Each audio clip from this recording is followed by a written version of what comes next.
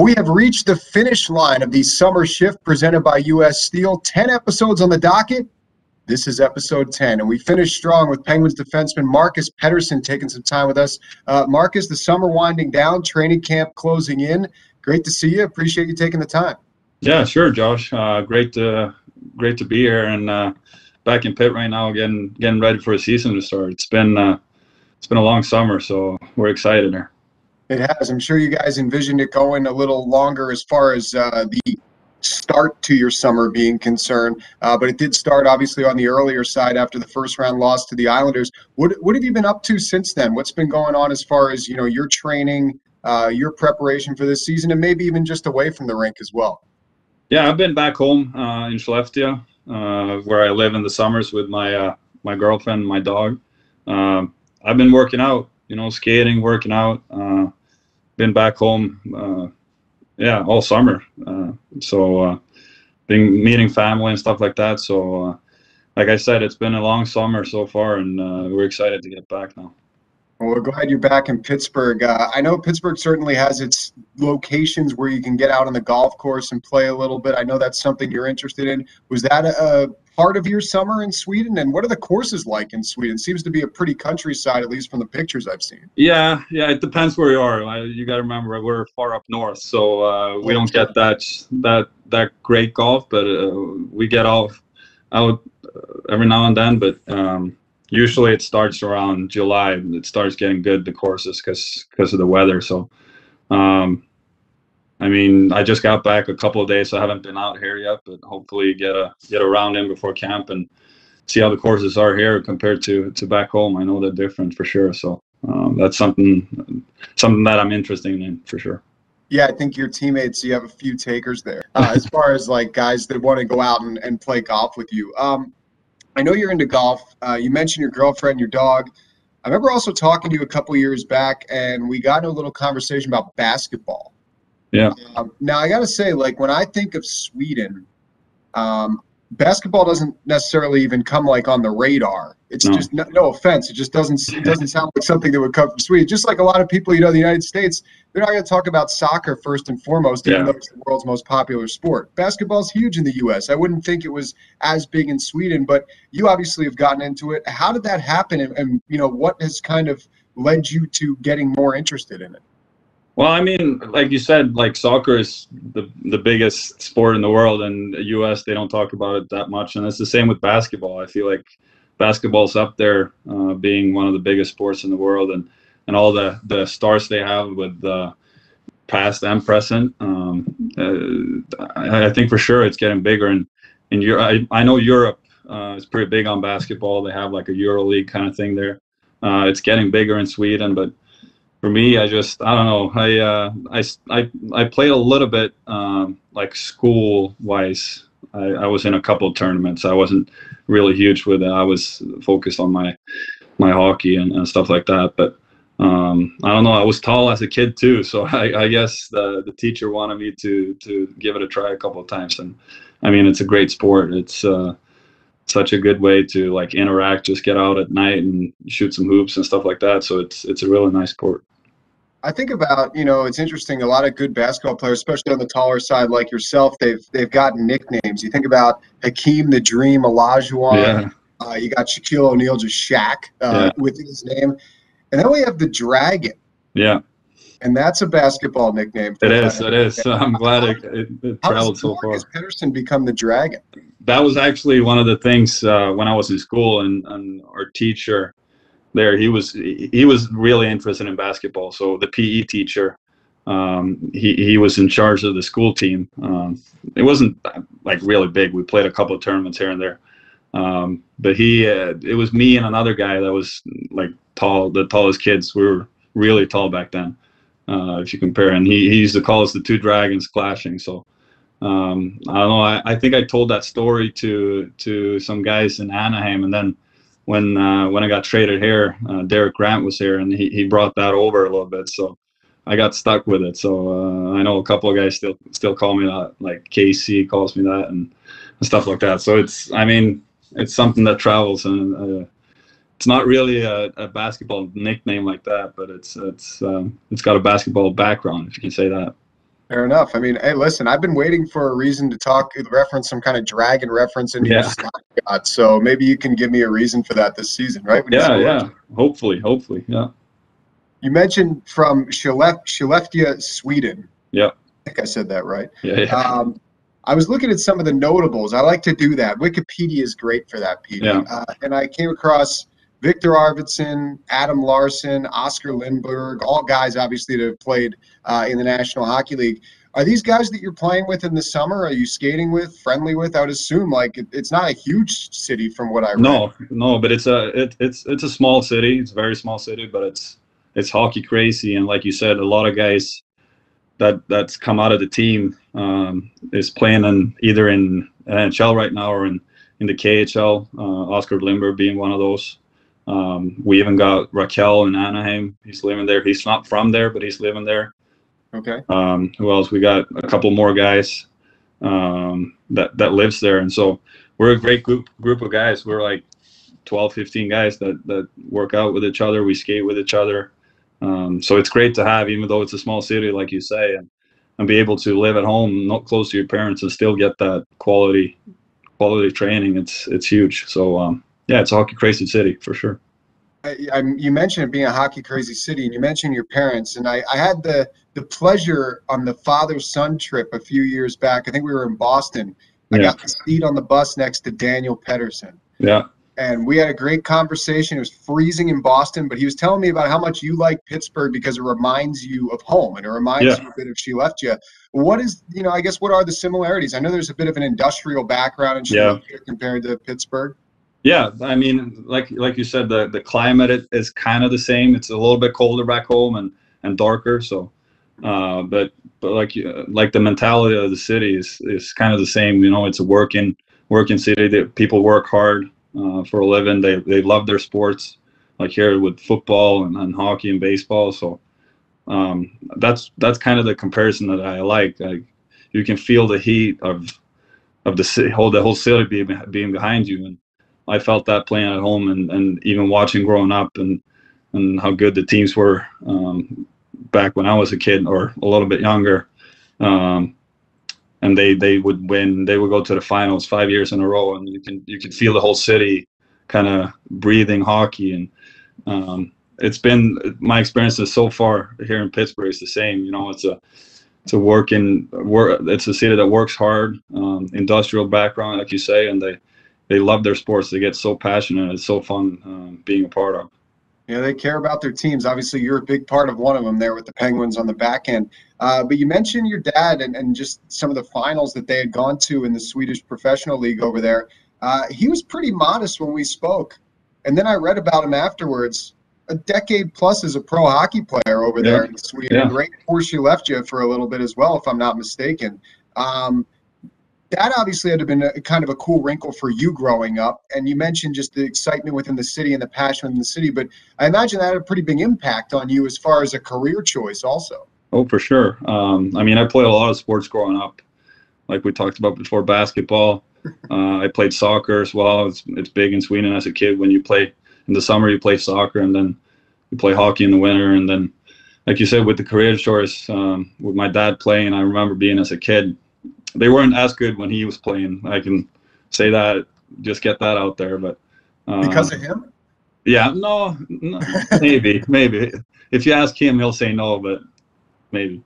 Um, Okay. But um, I mean, being around the locker room when I was a kid, I remember running around and seeing all the players and stuff like that, and being able to be on the ice sometimes after practice. It's for sure something that that spurred me to to want to be a pro hockey player and and really be successful. Because I mean, I love playing hockey, but maybe if I didn't have my dad, maybe I I wouldn't have set my goals early like I did, because he talked about that a lot. That that um, if you want to be go to the highest level you can, you gotta you gotta be a pro, and um, you can't just well if you got to play for fun, but you you got to put the work in, and and some that's something I for sure have, have brought with me this this whole way, this whole. Definitely, uh, you know, if, if you see it, you can believe it type of thing, which Yeah. obviously was there for you and your dad. You know, when I get ready for these interviews, PD, I do a lot of digging. I try to find some stories from my friend Michelle Crecchiola that she's written on PittsburghPenguins.com that can um, unload some dirt on you that I can Okay. talk about with these things. And one thing I came across, uh, and I'm just going to quote you here because I want to understand what this means. You are an educated carpenter. Yeah. Uh, so I in in high school um, back home, you kind of choose your line, what you want to do for a living, like what you want to work with. So they have in high school you can choose like um, economics for three years, or you can choose uh, um, electrician or something like that. And and so I um, going into high school, I, I chose to I wanted to do something practical. Uh, so um, I started. I think it's it's called carpentering. I'm not sure with the language barrier here, but Okay, that's fair. um, so like in the first year of high school, we we had I think it was three days of uh, of schoolwork, like regular schoolwork, and then we had a shop uh, at school where we built like small. Uh, it could be a sauna, it could be a storage unit, um, stuff like that. That we built, and then in second and third grade, you kind of progress, and and um, uh, in third grade, you uh, or third grade of high school, you you kind of you kind of go out into the companies and and and work as an apprentice, uh, basically the whole the whole school year. So it was something that that was really cool and and really fun to to do. Like um, not just sitting in school, but having that option to to be out and do practical stuff. So. Um, I'm educated in that. I'm not going to say I'm good, but uh, I, ha- I have an education in it. That's a yeah, that's a good way to phrase it actually, because it kind of sets the expectations at a Yeah, yeah. So I, that's my my girlfriend tries to have me do stuff around the house sometimes, but I, I tell her I'm I'm uh, I'm educated. I'm not good, so Educated, doesn't always go hand in hand. Those two things. Yeah, right. Educated, not seasoned. Yeah, exactly. Yeah, there you go. What are what are some projects that you've done? And I'll tell you why I'm asking that after you answer this. Yeah, uh, I've done some doors, um, like putting in doors. Um, Okay. I've uh, this summer actually we actually built a new house, or I didn't build it, but I was about to say. Yeah, no, no, no. Uh, but we built a house last last winter back home, and and uh, so we did some of the um, like a fence, picket fence around, um, stuff like that. I I did some in the in the kitchen. I I, I drilled some um, like fronts and stuff like that. So um, I haven't done any projects, but uh, um, just small stuff here and there. The reason I ask is because we've had a couple previous of these summer shifts, and in particular, two guys that jump out to mind are Mike Matheson and Zach Aston Reese, hmm uh, that both are woodworkers, and it kind Yeah. of not just like saying, oh, you know, I've I've sawed something in half and like you know drilled some a hole in a wall, No. and put a picture up. Like they're making charcuterie boards, they're making kitchen table. Like, were you aware of these things? Uh, I was not. No, Okay. um, they haven't really talked about it. I've talked with uh, one of our security guys that works at the rink, Lou. He, um, he he's a woodworker as well, and he showed me a couple. Ever since I saw I was a, a carpenter, he showed me all the time, like, look at this, what I made, and stuff like that. So, um, I'm not really, how do you say, um, good at, at those things. Maybe I can, um, like, um, I can screw a deck together, and I know how to do that and stuff like that. So, but I wasn't aware of, that they do charcuterie boards and, and woodwork like that. Like that's real handy and good for them. It is, yeah. I feel like you guys could start a little side project. Yeah, I know, right? Yeah, I'm gonna, traveling Get- band of get 'em penguins together. yeah, yeah, exactly. And Reeser can play the guitar and and and do uh, do woodwork. So he's uh, he appears to be a real uh, real handyman. So good friend. I mean, it'd be like the answer that no one would think of if you said like a Swede, a Canadian, and an American walk into a bar. It's like, well, they're carpenters. Yeah, yeah, yeah. You would never guess. No. Uh, well, that, that's good. Thanks for playing along with that. Um, so I want to get you our question here from your friends at Penguins on Twitter. Okay. Uh, they have thrown it out there with another note that we know that you're a big Game of Thrones guy. Yeah. Uh, obviously, a couple years in the past, as far as the most recent uh, Game of Thrones episodes that were out there. But uh, who is your favorite character if you had to narrow it down? Ooh, it's tough because the characters kind of go up and down. Um, but I mean, I, I always liked the the Dragon Queen, Khaleesi. Um, I think she was a great character, and, and to see how she she progressed in the show. But too bad she kind of went crazy at the end, so that that kind of lost it for me a little bit. But otherwise, I like I like Tyrion. I think he's real smart and funny to listen to. Um, and I mean the whole Stark family. I, I it's kind of the the way everybody I think I, everybody loves the Stark family, even though almost all, all of them died. But um, I think um, if I want to narrow it down, I would say maybe Tyrion. I think he's really fun to watch in that show and to see how he goes from being one of the enemies in the beginning and then he, he's a really great guy in, in that show. So um, I've actually heard about Game of Thrones that they they're planning to do a new one. So um, I'm excited about that to to see how um, how Valkyria or was it Valkyria or Valyria? Valyria, that's what it is. I think they're about to do a show on, on how it was when the, the dragons lived. So um, that'd be fun to see if, if they actually did that. Would you have any interest? I know that I've seen like just reading some stuff about the show that occasionally celebs, athletes make cameos. I mean, they usually die in like a fight scene, but would yeah. You, would you be interested in just going out there? And- oh, I don't know. I, I don't think uh, I'm stick to woodworking and then carpenting. I think I don't think acting is my thing. Okay, fair enough. Uh, I think you're a natural for what it's worth. Yeah. Uh, I, I've had a mission actually. You're talking about all these ins and outs of Game of Thrones. I've actually never watched it. Oh, really? Then you have a mission.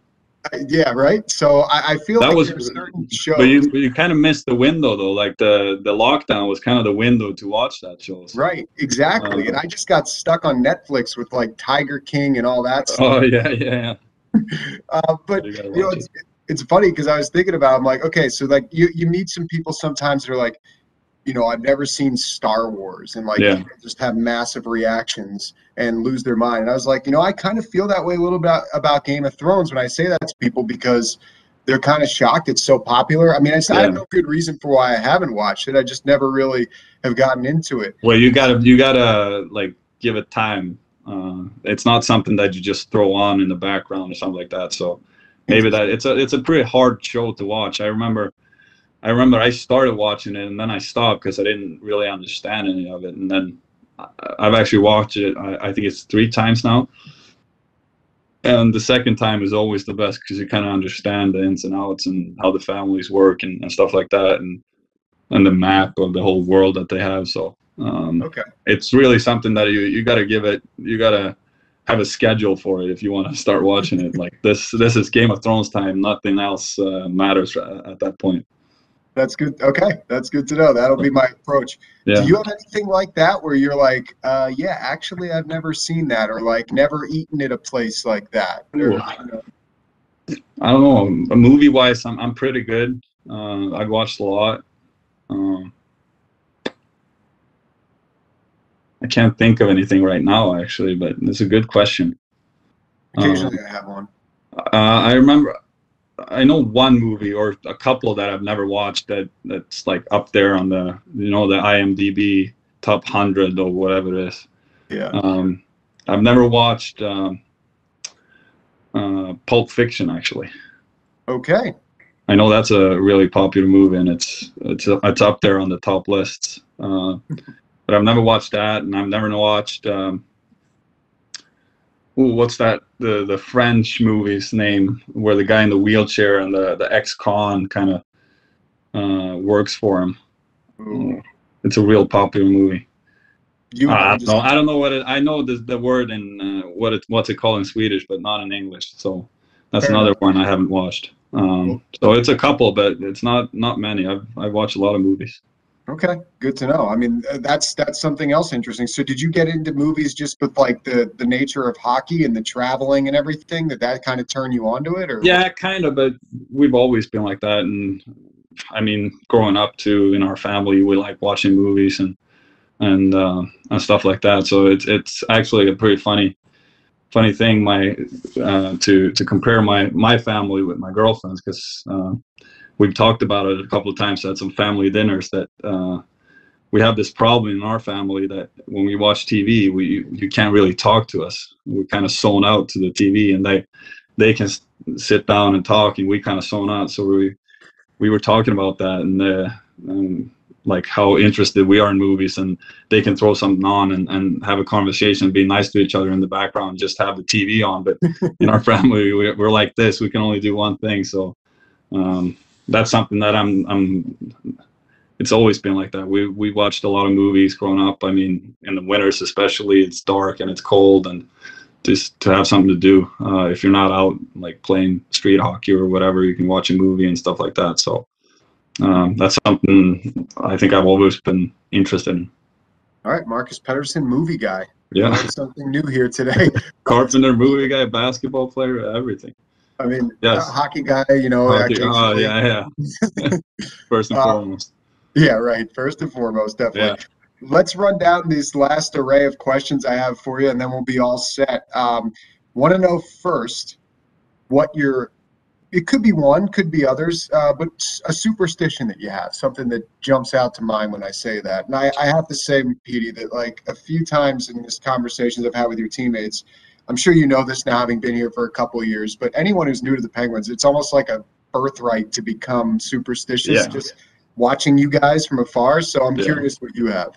Well, I have a, I'm not real crazy uh, with superstitions, but like you said, when you come here, you kind of learn that everybody does things at the same like it, it can look from the outside like chaos but it's for us it's controlled chaos and everybody knows where everybody is at a certain point in time if it's a game day so um, i mean i always start warming up off ice at the same time uh, i do my same things i always mm, stuff like putting your right skate on and right sock everything like that um, um, what else like i always go to go t- take a nap at the same. I always eat the same thing. So uh, I had a couple of things, but for sure, like you said, when when I came here, um, I picked up a few more and and uh, and stuff. I, I wouldn't say it's uh, necessarily superstitions all the time, but kind of routines as well, um, just to have and and it's something that you can always fall back on. So um, I don't know. All fights routine or superstition that I have, I know is uh, when I go to the bathroom, I always have to check the doors locked three times. So that's something non-hockey related that that I always do. Um, so that's a superstition actually that that I have. But um, I mean, I, I always start working out when the game's game clock starts. That's maybe something that that uh, is a superstition of mine. Okay, that's good to know. I mean, some superstitions are beneficial, some are yeah, yeah, yeah. But when you when you had them for long enough, you, you kind of realize that they're not superstitions because you kind of do them uh, on auto autopilot, kind of. Right. You, you, don't even think about it. So, um, a couple of those things. More routine, right? Yeah, yeah, yeah, for sure. All right. So, what is something that you can't live without, or something of great significance that you possess? Ooh, that is a good one. Well, I drink a lot of coffee. I, I know coming over here, they we sweet we drink, drink a lot of coffee, so um, that's probably something that that I have to have. I mean, on a game day, I probably drink around six cups cups of coffee, five six cup of coffees. Um, so I would say coffee is, uh, is is up there. Okay, coffee high on my list too. I mean, your former teammate Patric Hornqvist. I've never seen somebody drink more coffee in a yeah. span than that guy. So yeah, yeah. So also, that's always when when we go out to restaurants uh, with the team on, on road trips and we go eat and I have a coffee after dinner. Then they look at me like I'm I'm crazy, but um, that's that's always something that we do and we we have ficus in the afternoon with with a coffee and a little sweet. So um, after every meal we have a coffee. So that's that's probably something I would say I, I can't live without. All right, fair point. Um, you mentioned you were back in Sweden for most of the summer before coming back to Pittsburgh. Any vacations you took? Any special destinations? Uh, no, we stayed stayed back the whole time. Um, I, I, well, I went to a, a, ski resort in Sweden for for a wedding. Uh, okay.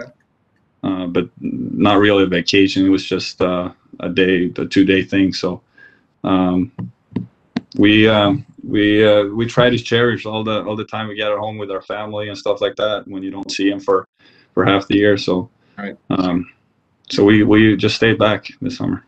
Okay, uh, never a bad thing to hang with family. Exactly. Yeah. I think we're about to turn a corner here in this one, PD, because I'm going to be curious and I'm honestly just going to be straight up with you that I'm not sure if we were listening to the same music when we were around the same age. But what I've had your teammates do is if they could think back to the very first album they ever owned. Okay. And there's obviously got to be, you know, a hit song or two from that album. If one Okay. So what I need you to do is Mhm. hum the song for me. I'm going to try to guess it.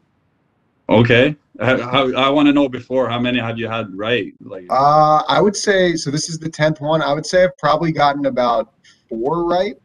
Last one I got though. Uh, who did I just do the ninth? Oh, Brock McGinn, your new teammate, was yeah, yeah. Big and Rich's "Save a Horse and Ride a Cowboy" was his first. Oh, okay. So, Uh, this is not going to be. I can give you a hint. This is not going to be a, a country kind of song. Um, I might be screwed already. but my, fir- I, I actually do remember my first CD that I got, and it was actually a DVD of the of a concert as well. So, um, I'm gonna try to to hum it and see if you can get it.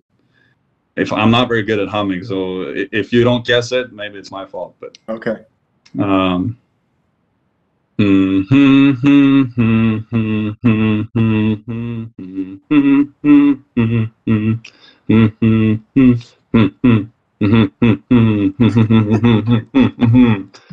I feel like I should know. it. Like that's no, no, You you, probably don't know it. Uh, uh, boom, boom. mhm. That's the the the chorus. Uh, I I can't really remember all the all the different things about the song, but that's how it starts anyway. The, the, Okay. I gotta be honest. You're the best hummer so far. Okay, Like, by far. okay. I So just don't. I don't know. I don't think I know the song. Okay, it's uh, it's Linkin Park. Uh, I remember Oh. I had their uh, I had their DVD from a, a concert in I think it was Texas, uh, somewhere, um, and it was the end with uh, Linkin Park. Now that you So say that, now I like think back to the humming. It, it was uh, pretty spot on, actually. Yeah, yeah. Okay, job. Not bad. it, it, it sounded good in my head at least. I'll see after if I can guess it. That's half the battle. Yeah. Uh, all right, two more things. The second to last thing. Have you ever played Two Truths and a Lie? Uh, yeah.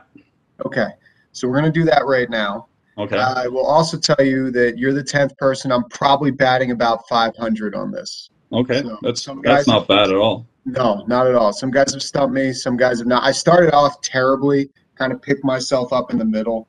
Um, but basically, for everyone watching, if you're not familiar, Marcus is going to give me two truths and a lie, but he's going to present them as three truths. And I have to guess the one that's not true. If it's correct, like I guess the one that's false, I win. If I guess something that's true, you win. So, Okay. Okay. Well, you kind of pricked my brain already. You should do this in the beginning of the because you know everything now. good to like. know for next time. Uh, I'm gonna think for a while here, if you don't mind. Okay, I'm. I'm. Uh, I think I, I have a couple of things. Okay. Um, when I was 20, I um, I went parachuting uh, as a birthday gift. Um, and uh, I owned a pet rabbit when I was a kid. And I always wanted to be a goalie when I was a kid. Wow. That's definitely the hardest three that I've ever gotten. Um, That's why I was thinking so long. that's I know. Hey, you had the brain going. Um, owned a rabbit. I feel like the first one you gave me seems like it could be a really cool birthday gift. So I'm going to sidestep that and say it's true. I think it's between the rabbit and the goaltending. You said you were tall when you were younger, but a rabbit just seems too random. I'm going to say you wanted to be a goalie when you were younger is the lie. False. It, it was the parachuting thing. Oh, I'm terrified of heights, so oh I even no. hate flying. So I, I, parachuting is something I would never do. So I, I actually had a pet rabbit. Uh, it was pitch black rabbit, and me and my sisters uh, got him. I think we were, yeah, we were little kids when we got him, and we had him for a few years. And I remember I, I always wanted to be a goalie. Like when we played street hockey, I was always a goalie. Um, I actually played goalie a few times, like growing up playing. Uh, but uh, I, d- I never got like a goalie mask, so I just played with my regular one. So I don't I didn't want to do it anymore. So that's why I didn't play goalie. But I do it a couple of times in the summer. I got I borrow the the the goalies gear that we that we play with and we we have fun a couple of times or one time in, in the summer. Uh, so i still do it. Um, so that you're not batting 500 anymore. Too bad no, no i end on a sour note. I'm, I'm not happy about that. Uh, i have to hash this out when i see this is the finale too so you can't redeem yourself.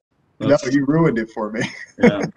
that's all right. I'll, I'll survive. Uh, last thing for you Petey one recommendation of something that you're currently into, and this is more for the fans out there as we wind down summer and get ready for hockey season. I mean, it could be TV show, a book, movie, a song, podcast, anything like that. Um, actually, uh, I just started watching. Um, I was talking with. I work out with Rakell too in the summer. Uh, okay and him, him and his uh, wife, it is now, uh, they started watching all 24 Marvel movies in in like chronicle chronicle order or whatever yeah. you say. So um, it's not when the movie come out, but when when it's taking action, the actual movie. So I'm I'm in the middle of a, a Marvel's mar- marathon right now. So um, that's something that maybe people should look into. It's really funny to see and understand everything when you when you watch it in the right order. Yeah, I hadn't realized that they were out of order when they came out, so that shows you how yeah. much I know on that. Yeah, yeah, pretty cool. All right, well, I really appreciate your time, Marcus. I know uh, the days are fleeting between now and when the puck drops in the preseason on September 27th, and then of course the regular season on October 12th in Tampa Bay. But we can't wait to get it going. We're looking forward to seeing you in person here in training camp in a couple of weeks. Uh, thanks again for taking the time. Good luck this season, and talk to you soon.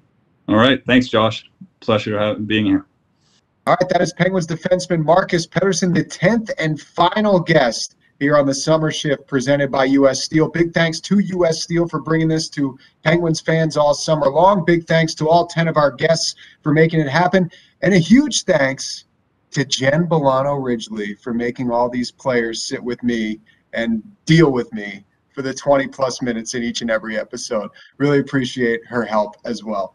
Thanks to everyone out there for watching. We'll see you in training camp, preseason, and the regular season soon enough. Have a good one.